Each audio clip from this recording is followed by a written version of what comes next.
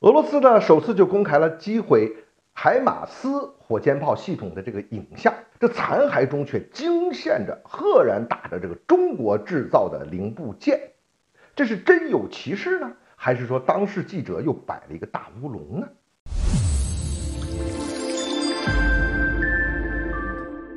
欢迎来到张斌观察，我是张斌。美国援助海马斯火箭炮系统啊，虽然说数量不多，也就那十几套，不过说最近好像又有十八套正在运过去了，就开始运过去那些啊，虽然数量不多吧，虽然说也没有起到这个扭转战局的决定性作用，但是呢，这种海马斯火箭炮系统配合它的精确制导的火箭弹，确实打掉了俄罗斯的不少。呃，重要目标啊，可是把这俄罗斯这边搞得非常的恼火，可以说是恨得这个牙都痒痒了。俄罗斯这边也一直宣称干掉了多少多少海马斯了，但是呢，一直也没有这个确凿的证据。最近呢，却出现了一个视频，据说是啊，俄军这个气势磅礴的把这海马斯火箭炮系统打得个稀碎，并且展示了被摧毁的残骸零部件。这个画面中啊，有这么一个部件，那赫然标着一串。这个英文就是这个中国制造，你说这又是怎么回事呢？你看前一段 F 三十五上出现了中国的一些零部件，就是永磁材料的部件嘛，这事儿已经闹得沸沸扬扬了。那这海马斯难道也离不开中国吗？哎，我们来看几点哈。第一，这个消息呢是从哪儿来的呢？就是咱们大家都特别熟悉某香港某电视台这个某专门报道俄罗斯方面的某位记者他发出。目前呢还不能完全确认这个视频是怎么回事。这位记者说，这是这个被打得稀碎的这个海马斯火箭炮系统的残骸。俄罗斯官方这边呢也没有证实。第二，咱们具体就说到这一段影像来看一看哈，这个也也有可能是被击毁的这个海马斯，但是这是在哪里被击毁的？是不是在这一次的俄乌战场上呢？这就不好说了。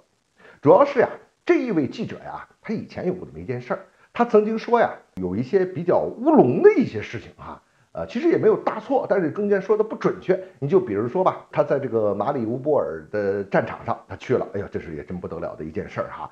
他在这个战场的时候，就发现了一把这个波朗宁的微型手枪，个小手枪啊，说是这个，你看这把枪是北约配给他们高级军官的。所以呢，这里边可能有这个北约的人，应该就在这里边了。下边会有西方的这个要人。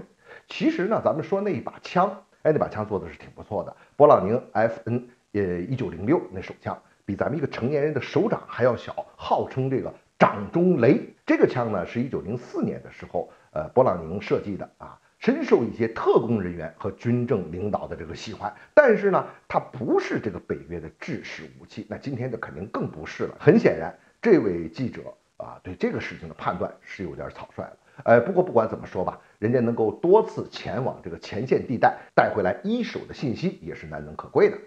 好。咱们再说回啊，这个零部件疑似是中国制造这个零部件吧？哈，它是一块金属盒子，大概有这一块砖头那么大的一个金属盒子，外部呢还有连接线，顶部呢还有一串这个英文的这个标记，啊，和数字的标记，就是标着这个 CAM 一四零六零五幺五的这个字样，看样子是一个什么型号？下边呢就是一个很大的这个英文的中文制造，这东西看上去啊，就我个人的经验。和现在仅有的这些图像资料来看，它很像是一个电器与电子连接的这个转换器，啊，对电路进行这个连接转换，或者说在做一些呃增益处理这种功能吧。这属于机电产品里面比较常见的通用配件啊。当然了，这只是我的一个初步判断，也不一定就最后就是准的。